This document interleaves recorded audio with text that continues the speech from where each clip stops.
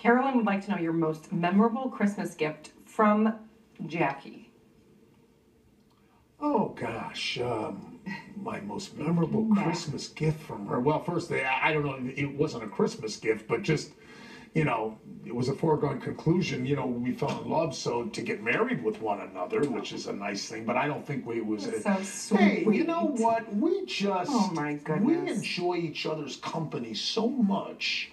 And we're looking forward to this holiday. I'm taking some time off as I always do. And it's because, you know, we'll have extra time to spend with one another and we just enjoy each other's company.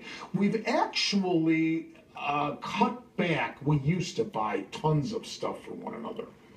Now we've really cut back uh, because, you know, the only things we buy for one another for Christmas are practical items.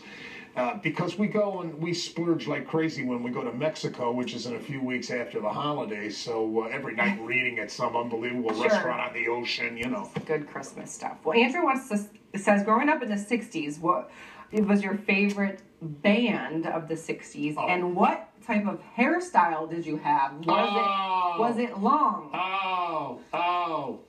Yeah, don't Okay, you I dare got put a up Jackie. the, We need a you picture. dare I don't up have one those right pictures. now, but I need to get one. And Not that real up. long. I never had real Like a long mullet. hair. But the, the band question's easy. Um, the top band was the Beatles, without a doubt. Sure. And I loved Crosby, Stills, Nash and Young. I loved Cat Stevens back then. Um, I loved the Temptations back then. I loved a lot of the Supremes songs back then. Uh, it was a great time to grow up. It really was. And then some of the oldies from the 50s that carried over, you know, the Jersey Boys and that kind of music. I enjoyed that too. So, like, how long was the hair? Not that long. Okay, fine. We'll By, just find a today- picture. by It's fine. today's standards, if you put it up, I I- you It know, wouldn't be Oh, like- I, it, it would. It, it, I it was long, but not that long. Never, never hippie long. If that's what you're That's what I was trying, and No. she was trying to find that out. no. Uh, Rocky Terrier says, when you began eating healthy, which food was the hardest for you to give up? Ah, that's a great question.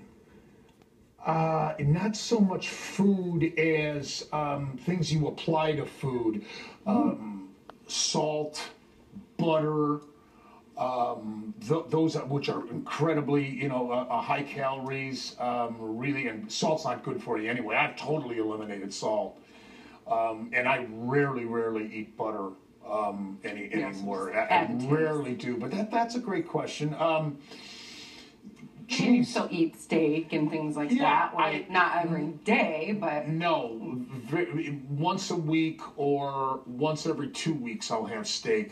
We're, we're going out to dinner this weekend, and um, I'll probably have a veal dish. Going to an Italian restaurant, so I'll probably have a veal dish.